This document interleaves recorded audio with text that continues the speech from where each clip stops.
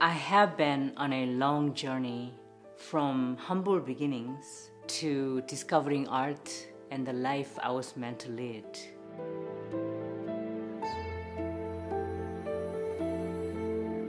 I was born in South Korea. My father was a fashion designer, and my mother was a traditional Asian lady who were in an arranged marriage.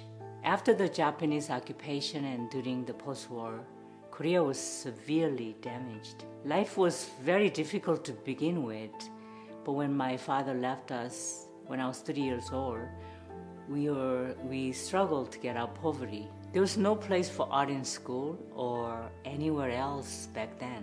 As a student, I craved artistic expressions and would often be distracted from my studies and doodle sketch portraits of my teachers and classmates on my notebook. My focus was to study in school and become a nurse and marry a doctor. One day, when I was 12, I watched my oldest brother's friend applying watercolor on a large blank paper that covered the wall. I was totally mesmerized watching his painting transform into a powerful portrait of a strong Korean lady who was wearing yellow and purple dress and had a smile much like Mona Lisa. That image left an indelible impression on me.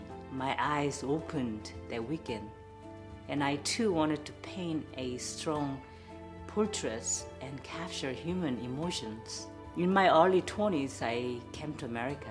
Once I landed in this great country of abundance and opportunities, I needed a job. So I took all my money and enrolled in beauty school to become a hairstylist. In nine short months, I was able to establish a career that allowed me to make a living and be creative. Even though I made a good money and built my clientele over 25 years, I still felt this deep sense of emptiness, lack of fulfillment, and purpose. Something very important was missing. I longed to paint the powerful portraits that my brother's friend painted a long ago. Although I didn't realize back then that I was going through a deep depression. After my daughter was grown, my husband's career required us that we live internationally. As I experienced life in European cities, I found a way to put down roots by visiting local art museums. I'll never forget the feeling of visiting Rembrandt Museum in the Netherlands. This Dutch master's work is so lifelike that his painting literally opens up and breathes instead of resting as static images. His canvases pulse with subtle energy of living things. Back in the United States, I finally started my art classes at Scottsdale Art School. Soon after, I moved to San Diego to study with Jeff Watts, where I learned the painting fundamentals, human anatomy, and craftsmanship. I continued my study at the Russian Academy of Art in Florence, Italy.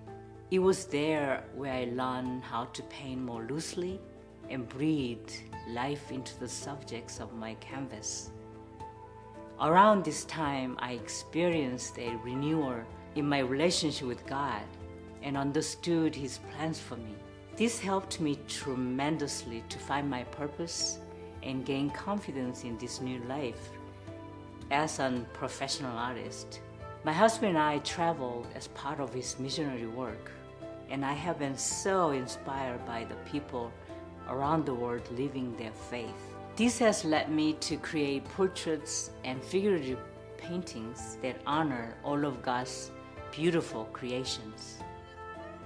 Each painting I create is a source of healing for me. As I lean into my artistic passion, I moved past the difficulties I experienced in Korea. With every brushstroke, I bless my mother for her strength, persistence, and her devotion to family. And my father for giving me the DNA be the artist that I am today. There is no place I would rather be than with a brush in my hand. I know I'm here to make difference with this gift. And right now, there is no time to waste.